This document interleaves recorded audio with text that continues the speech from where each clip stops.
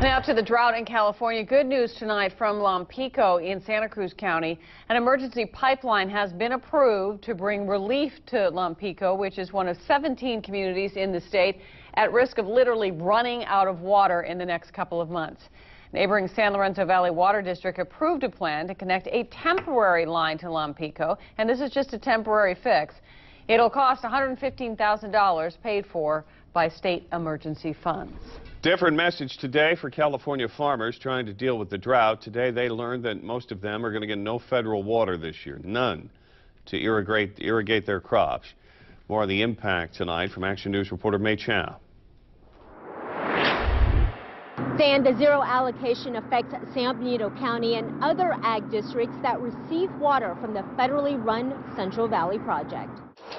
Friday's announcement by the U.S. Bureau of Reclamation was one that the San Benito County Ag Community knew was a foregone conclusion. It was pretty much expected. We could see this coming last summer. And now farmers and the district water manager are trying to figure out how they're going to get through this. We're going to be short of probably about 15 or, or 20,000 acre feet of water, which would be equivalent to irrigate you know, maybe about 10,000 acres of, of land. There is some groundwater available for farmers, but in many cases the water just isn't suitable for irrigation. The well water around here does contain some minerals and salts, which for some crops that they'd grown before could be detrimental to.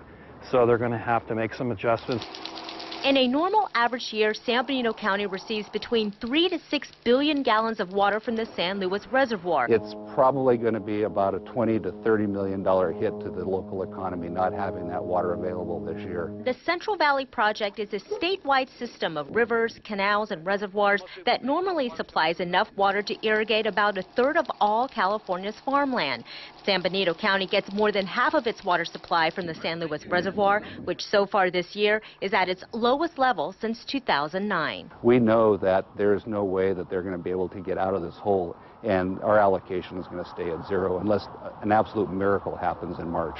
If we do get rain and snow, the Bureau of Reclamation says it may be able to release some water, but if the weather remains as is, farmers may not get additional water until next March. Reporting in Salinas, May Chow, KSBW, Action News 8. And uh, you should know, because of the drought, there are now new fishing restrictions in place tonight. Rivers, creeks, and streams, anything west of Highway 1, now off limits, at least until April 30th, including Pajaro River, San Lorenzo River, Carmel River, just to name a few. California's Department of Fish and Wildlife put the new emergency regulations in place this week because of the impact on native salmon and steelhead.